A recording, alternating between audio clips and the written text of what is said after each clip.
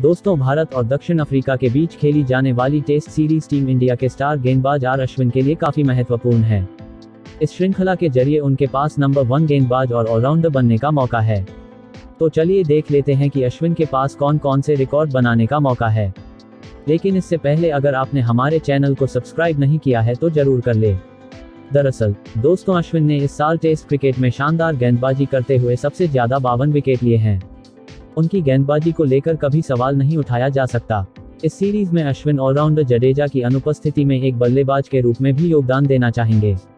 मौजूदा समय में उनकी अगर आईसीसी टेस्ट रैंकिंग देखी जाए तो वह गेंदबाजों में ऑस्ट्रेलिया के कप्तान पैट कमिंस और ऑलराउंडर की लिस्ट में जेसन होल्डर से पीछे है। बता दें, ऑस्ट्रेलिया की मौजूदा टेस्ट कप्तान Pat Cummins ICC test ranking में दुनिया के नंबर वन गेंदबाज हैं तो वहीं भारत के ऑफ़ गेंदबाजों की रैंकिंग में अश्विन आठ सौ तिरासी अंकों के साथ दूसरे नंबर पर है। इसके अलावा अगर टेस्ट ऑलराउंडर की रैंकिंग पर नज़र डाली जाए तो वेस्टइंडीज के जेसन होल्डर तीन सौ बयासी अंकों के साथ टॉप पर है, जबकि आर अश्विन 360 अंकों के साथ दूसरे नंबर पर हैं।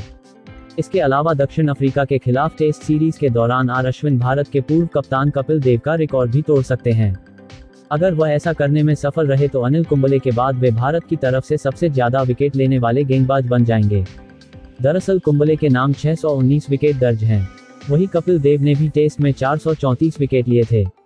इस तरह कपिल देव का रिकॉर्ड तोड़ने के लिए अश्विन को केवल आठ विकेट की दरकार है। बहरहाल, आगे देखना होगा कि अश्विन साउथ अफ्रीका के खिलाफ कैसा प्रदर्शन करते हैं।